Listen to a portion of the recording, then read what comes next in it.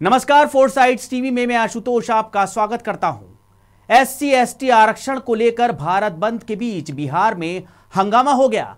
राजधानी पटना में प्रदर्शनकारियों पर लाठीचार्ज किया गया। पुलिस की लाठी प्रदर्शनकारियों से लेकर अफसर तक पर बरस पड़ी।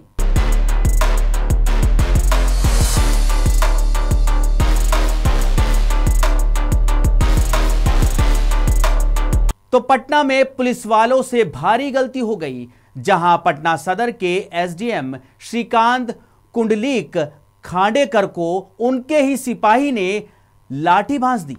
ये नज़ारा कवरेज कर रहे पत्रकारों के कैमरे में कैद हो गया, हालाँकि सिपाही की इस गलती को दूसरे सिपाहियों ने देख लिया और उसे और लाठी मारने से रोका गया।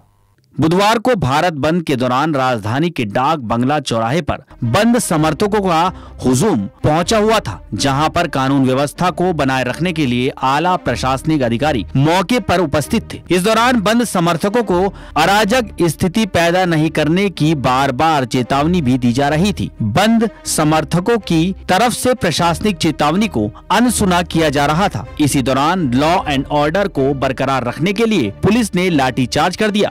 इस इस बीच वाटर कैनन का इस्तेमाल भी किया गया। पुलिस द्वारा जब लाठीचार्ज किया गया, तब बंद समर्थक डाक बंगला चौराहे से एसपी वर्मा रोड की ओर भागने लगे। वहाँ पटना सदर के एसडीएम डीजे ठेला के पास खड़े थे। इस डीजे ठेला को बंद समर्थक ही लेकर आए थे और नारेबाजी कर रहे थे। पटना सदर एसडीएम श्रीकांत कुडलिक खांडेकर भी उसी ठेले के पास खड़े थे। वो वीडियो में सफ़ेद शर्ट पहने नज़र आ रहे हैं। इसी दौरान पीछे से आए एक सिपाही ने एसडीएम को लाठी मार दी।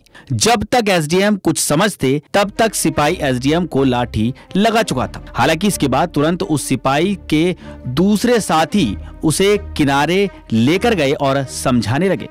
एस सी आरक्षण को लेकर भारत बंद का सबसे ज़्यादा असर बिहार में देखने को मिला। प्रदर्शनकारियों को रोकने के लिए राज्य के कई जिलों में पुलिस को बल प्रयोग करना पड़ा। राजधानी पटना में भारत बंद के दौरान जोरदार हंगामा देखने को मिला। यहाँ प्रदर्शनकारी सुप्रीम कोर्ट आरक्षण विरोधी फैसले वापस लो का नारा लगा रहे थे। साइंस कॉलेज के पास प्रदर्शनकारी उग्र होने लगे। पुलिस ने उन पर काबू पाने के लिए लाठी चार्ज कर दिया। दानापुर में डीआरएम कार्यालय के पास सड़क जाम कर दी। जहानाबाद में बंद समर्थकों और पुलिस के बीच झड़प हुई।